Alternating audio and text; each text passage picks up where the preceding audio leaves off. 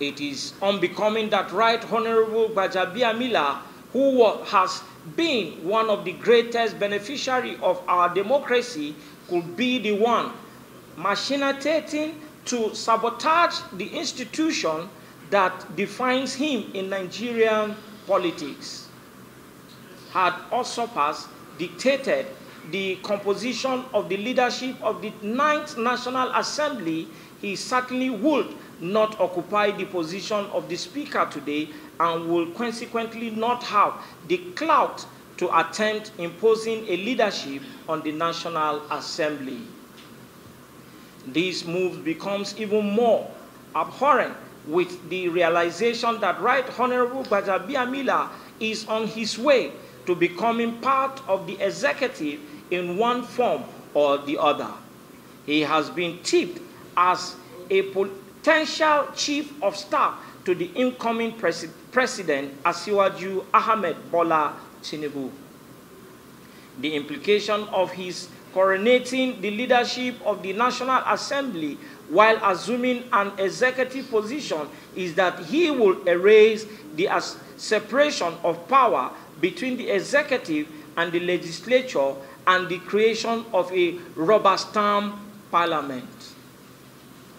A rubber stamp National Assembly is precisely what the country does not need, currently bearing in mind the extent of reform-oriented legislation and oversight that is needed in the months and years ahead.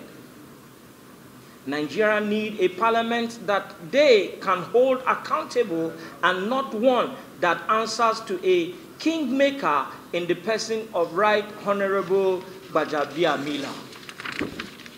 On this note, we call on men of good conscience with the APC and continuous Nigerians, including those in the opposition, to rise up in defense of Nigerians.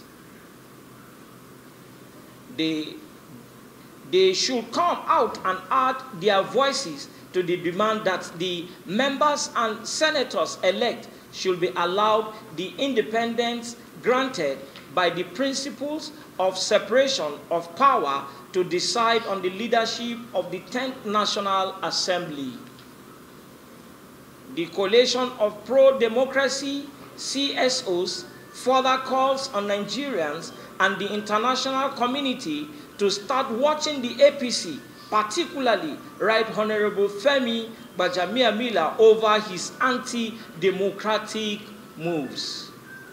The party should be informed in clear terms that its partisan interest, interest should be escalated for sabotaging our democracy. Finally, we reject the so-called zoning template released by the APC and NWC as null and of no consequence while urging the senators and members elect to do the same and vote for parliamentary leaders that will be useful in attaining the promises they made to their electorates. We will wish for the proclamation of the 10th National Assembly and its inaugural sessions to be free of the occupation and protest of Nigerians that are resolute in defending our democracy. But protest, sit-ins, and occupation of the National Assembly will be the order of the day if the APC and Right Honorable Gbajabiamila persist in coronating leaders for the National Assembly. Thank you and God bless you all. Honorable Dauda Yakubu, convener.